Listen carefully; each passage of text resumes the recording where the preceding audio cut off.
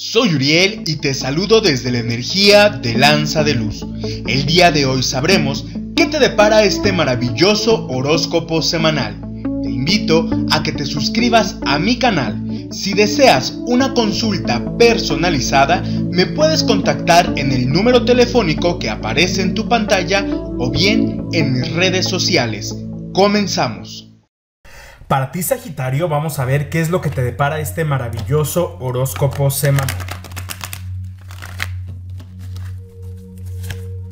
Aquí te dice en el, en el, trabajo que ha llegado el momento de que no postergues tu felicidad tú ya te estás muy cansado eh, mentalmente de estar pensando, de estar tratando de solucionar todos y cada uno de los problemas que te están encargando, te están cargando mucho la mano en tu trabajo. Ha llegado el momento de darte un descanso, de que toda esa intensidad empieces a relajarte. Estás muy tenso, muy tensa, estás muy estresado, estresada y sobre todo muy neurótico y neurótico, eh, neurótica en esta semana. Los demás no tienen la culpa de tu estrés, no tienen la culpa de la carga de trabajo responsable o la responsable en esta situación eres tú. Tienes que aprender a decir no, tienes que aprender a decir gracias por el momento, es todo lo que puedo hacer y también tienes que aprender a saber hasta dónde puedes dar en la cuestión laboral. Deja que tu mente descanse, deja que tu cuerpo empiece a estar en un estado de relajación. En el negocio de igual manera, tú ya empiezas a tener ganas de cambiarte de trabajo,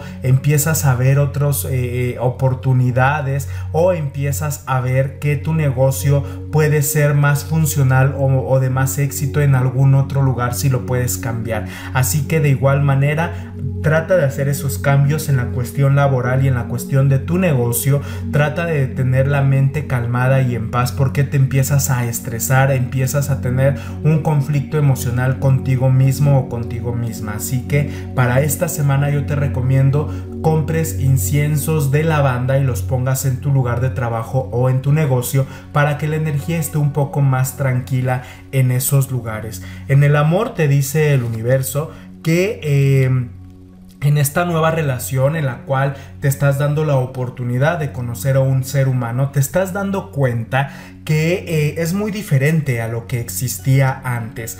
Antes era una persona que eh, pues era como te estás dando cuenta que hoy sin mayor esfuerzo o sin mucho esfuerzo puedes estar en paz tranquilo y tranquila con esta nueva persona que esta nueva persona en la que hay en la cual te estás dando la oportunidad y que ha llegado a tu vida no exige tanto como la otra persona como el, la otra relación y te estás dando la oportunidad de ser feliz de estar a gusto sin tantas exigencias o, o sin tantas Em, pues sin tantos eh, peticiones por parte de la otra persona. Te estás dando cuenta que tienes una buena relación, que estás iniciando una buena relación y que puede llegar a ser algo realmente grande y fuerte en tu vida. En tu matrimonio, de igual manera, te dice el universo que tú tienes una nueva visión, tus planes de vida están cambiando y obviamente es importante hacérselo saber a tu pareja para que empiecen a caminar sobre el mismo canal de comunicación, de comprensión y de entendimiento.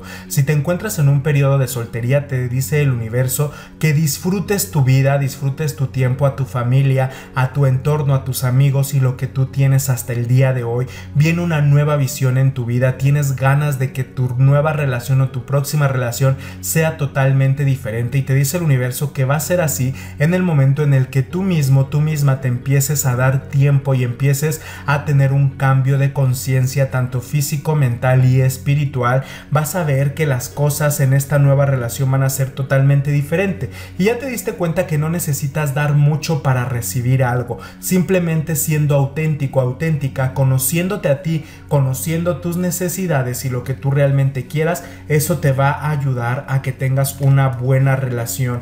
En general te dice el universo que ha llegado el momento de concluir las relaciones de tus vidas pasadas. En, eh, mientras fuiste o estuviste en esa relación, pudiste apoyar. Hoy en día te dice el universo date un tiempo, entrega esas vidas pasadas, entrega esas relaciones que ya no te están dejando nada más que un desgaste emocional, mental e incluso físico. Así que date la oportunidad de cambiar todo tu entorno energético y vas a ver cómo las cosas van a empezar a brillar a tu favor a lo largo de esta semana.